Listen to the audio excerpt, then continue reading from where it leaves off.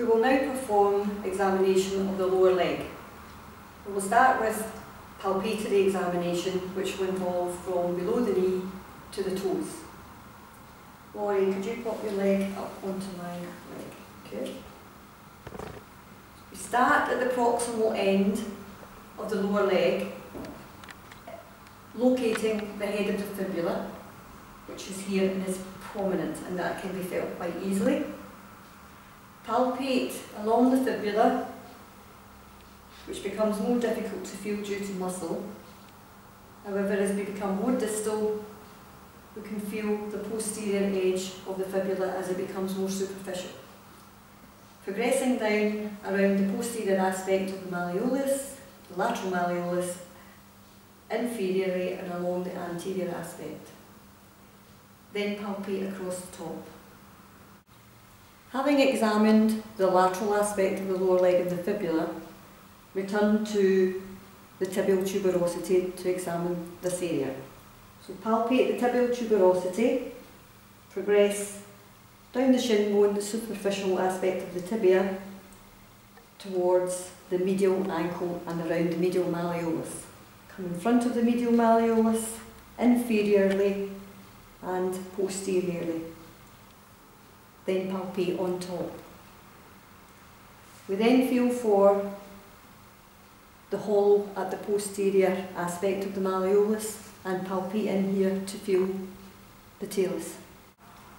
Then feel along the calf muscle, make sure it's soft and non-tender, and gently feel the Achilles tendon. It should feel firm. Which leads down to the calcaneus.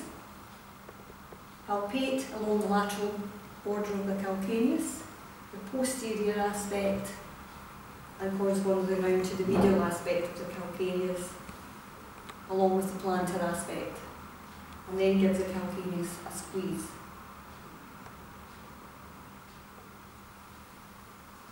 The foot is then better examined from the toes upwards. So we start with the great toe, to check that the toe joints are moving freely, and then palpate along the first metatarsal onto the medial cuneiform, then the navicular, which is quite prominent.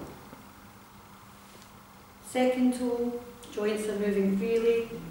Second metatarsal, middle cuneiform or intermediate cuneiform, and then onto the navicular. Third toe, joints moving smoothly, third metatarsal, lateral cuneiform, navicular, and then talus. Fourth toe, same again, relax, moving, palpate along the fourth metatarsal, meeting the cuboid, and then the calcaneus. Small toe, moving, and then palpate along the fifth metatarsal. Feel for the base of the fifth metatarsal, which is prominent and is an area that is prone to injury. Then the cuboid and the calcaneus.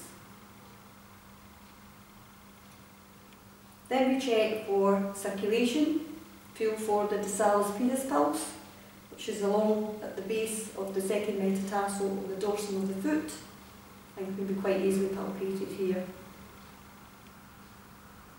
Check the sensation across the dorsum of the foot and the toes and along the lower leg. And this is for the peroneal nerve, which can be injured often at the head of fibula. The motor function of that is to dorsiflex the foot, which we will cover in the ankle and foot movements.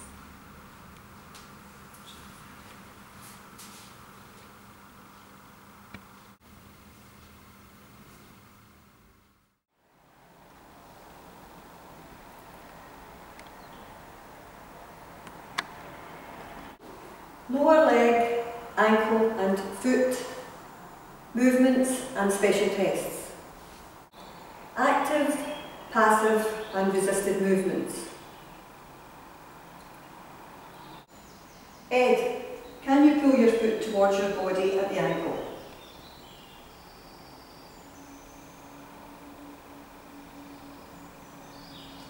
Dorsiflexion 0 to 20 degrees.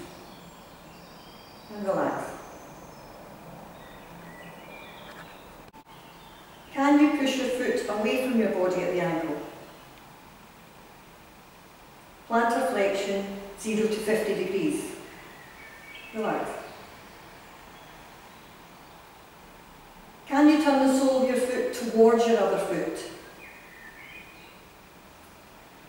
Inversion 0 to 30 degrees. Relax. Can you turn the sole of your foot away from your other foot? Eversion 0 to 10 degrees. And relax.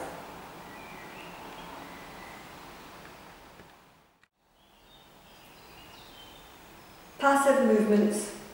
All passive movements have a firm end feel. Ed, you relax and I'm just going to move your foot through some simple movements.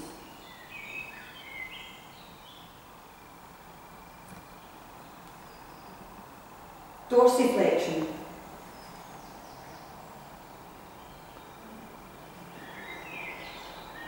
Plantar flexion.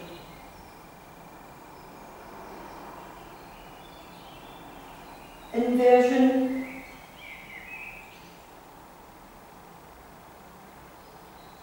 Eversion.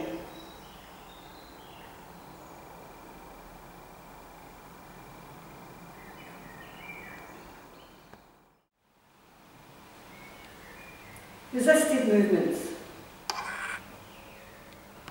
Ed will now test the muscles that support your ankle.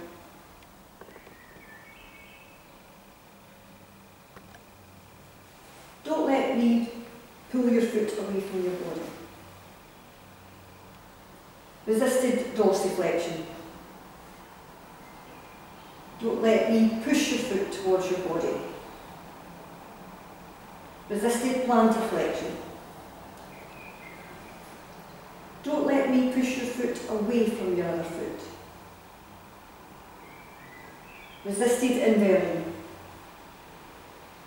Let me push your foot towards your other foot. Resisted eversion.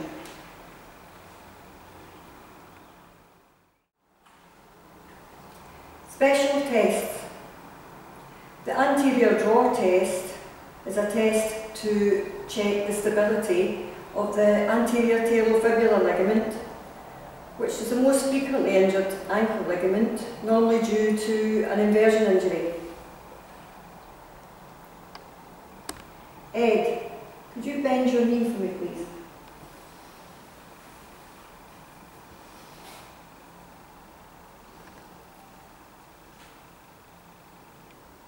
Hold the heel. Brace the shin and pull the foot forward from the ankle in front. And relax. Positive test would show laxity of the anterior talofibular ligament. Special test, the Simmonds test. This test is used to demonstrate a ruptured Achilles tendon injury. The position the patient needs to be in for this test is demonstrated by Ed. There may be visible signs of ruptured Achilles tendon. If we look at the position that the feet are in, normally they should lie in slight plantar flexion. If the Achilles tendon is ruptured, the injured foot would sit perpendicular to the ankle.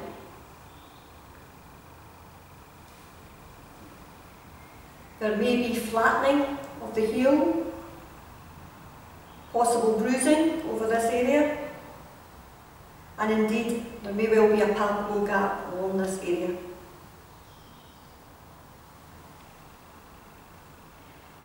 The Simmonds test involves the examiner grasping the gastrocnemius muscle and gently squeezing this area to mimic muscle contraction. The foot at that point should plantar flex. We Squeeze.